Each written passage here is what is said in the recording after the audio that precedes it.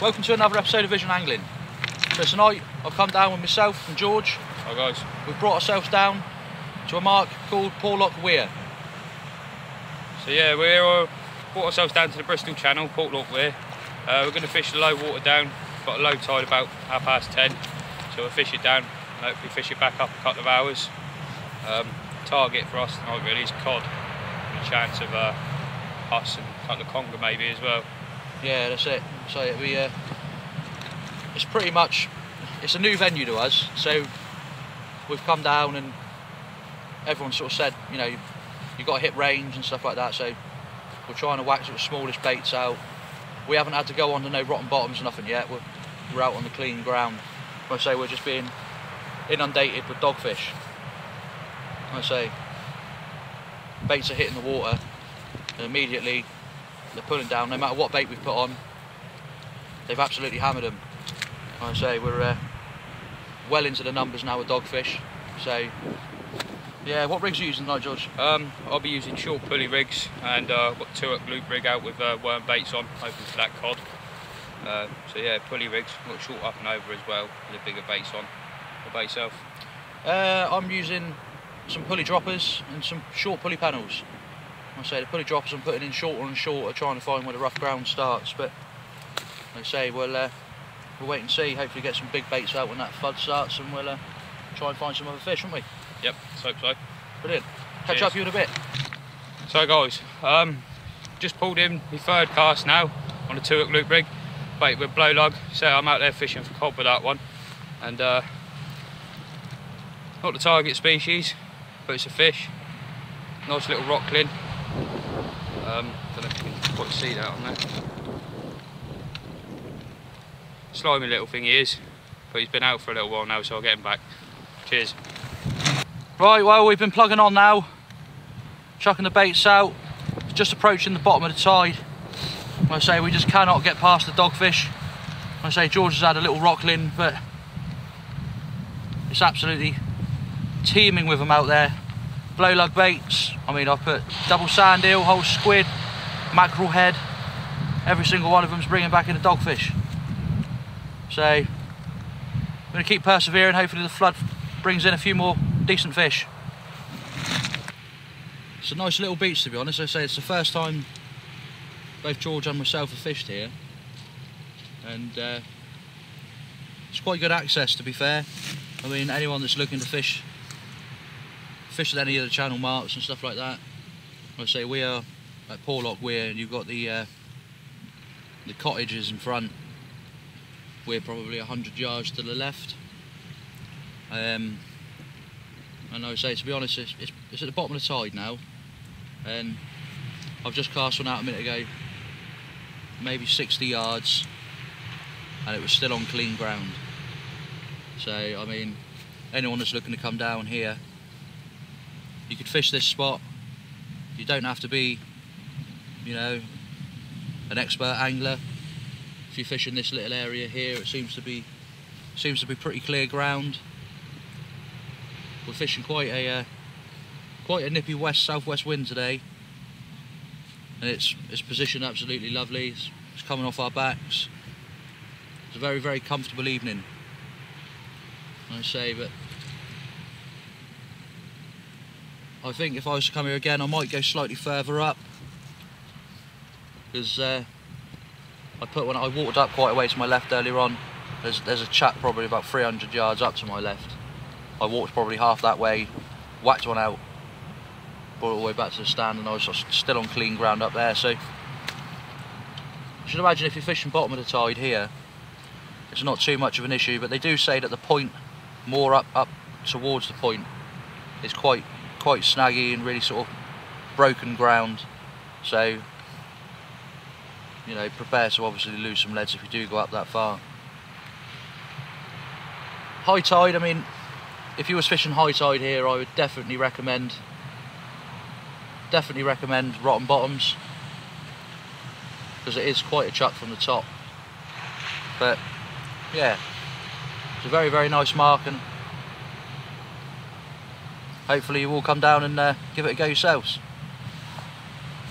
Right guys, I just had quite a positive bite on uh, my turk loop rig. I got quite excited because I lifted into it and it felt like a good fish. Uh, say that one I'm fishing with blow lug, so I'm aiming for a cod all the way in. I even felt a little nod, but double dogfish culprits, like Ben said. These are starting to become a bit of a pain now. But we're going to persist through, fish hard, and hopefully we can get back to you some better fish. Cheers.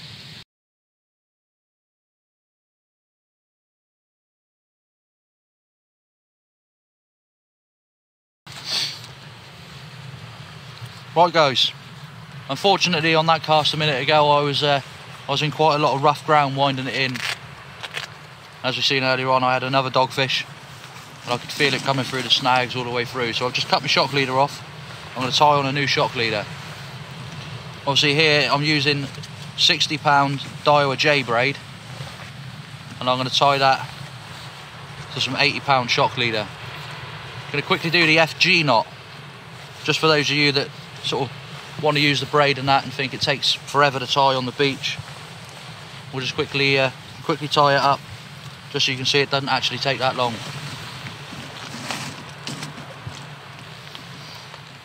Right so you want to get a little bit of tension coming off of your rod on your stand and you start off put it shock leader leaf underneath there. Go over the top and up and around and down. Pull it tight and just go under and up and then just repeat that about 20 times. Make sure that you pull it and pinch the knot as you go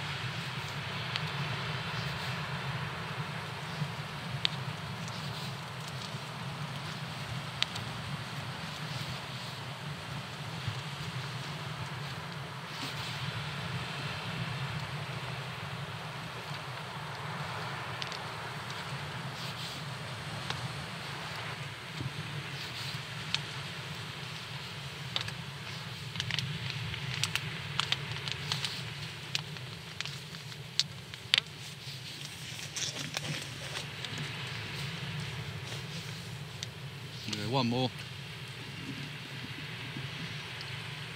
Now you can see there, there's your FG. Just get some braid scissors. Just cut off the tag end there, probably about nine inches or so. And all I'll do there is I'll do a quick granny knot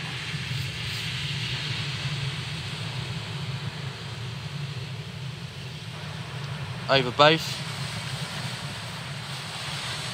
Give that a little pull down.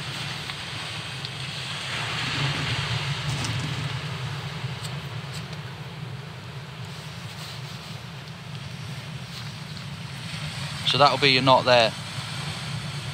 And I say at that point, this is the point now where we're going to wet it and give it a good hard pull.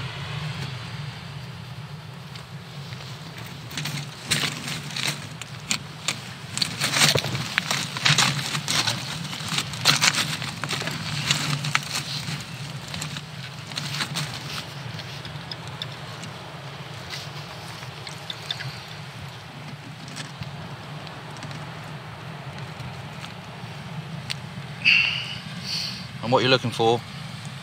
Is that knot there? It's gone all sort of transparent. You can see that. And that is I physically can't pull that any harder. And all I'll do on the end of there is just do a quick risotto knot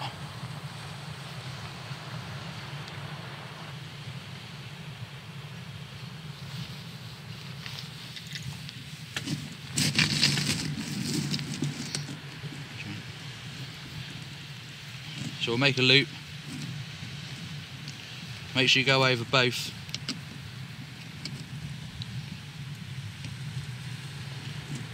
So you go over your tag end.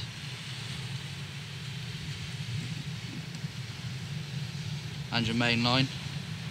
Give yourself a loop there. And then go through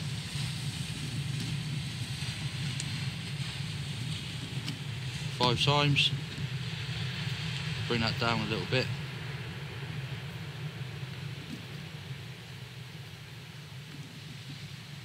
And what we want is your tag end along the knot there. And then all you have to do is reverse the loops.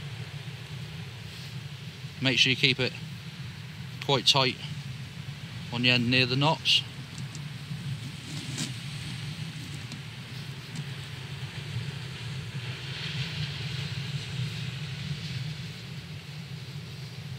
Until you're done there.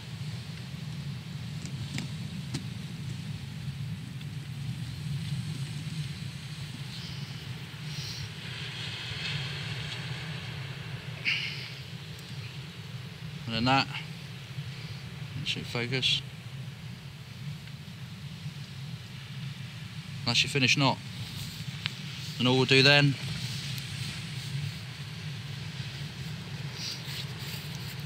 is we cut the tag end, make sure you leave a little bit on the braid there.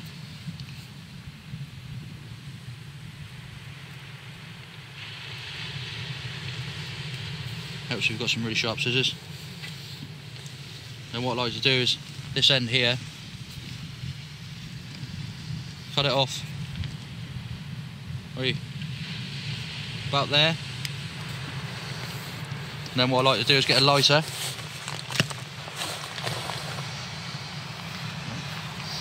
Make sure that you wet your fingers a lot. Ugh. Ideally not after baiting up. And the end here.